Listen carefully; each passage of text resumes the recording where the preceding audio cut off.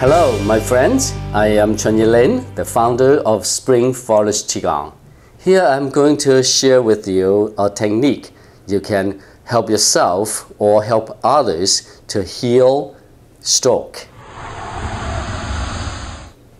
Now, what you do is you always start from the left hand because in that way you can help to activate the healing energy much faster and more completely. So you use your fingernail to press the tip of the middle finger first. Press it deep until you or your friends or anyone to feel a pressure or pain, that's the best, for three seconds, and then you let go. And then do the index finger in the same way, press the tip of the fingers down with the fingernail and until you feel pain, and then let go.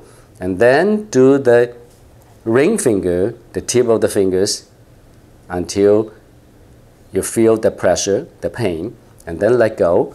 And then do the thumb the same way. Then the little finger the same way. Three seconds, three seconds, start from the middle finger, the index finger, the ring finger, the thumb, and then the little finger. When you finish the left hand, and you do the right hand. If you can do the toes in this way too, that's even better.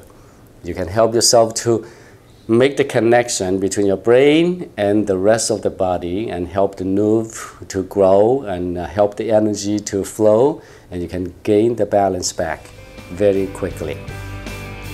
Give it a try. Thank you.